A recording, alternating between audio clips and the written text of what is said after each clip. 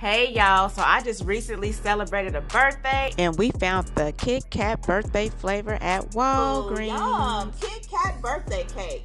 Okay, so we have the crisp wafers and birthday cake flavor cream with sprinkles. Ooh, yum. this should be really good. Birthday cake is my favorite cake. Let's go. Let's get it.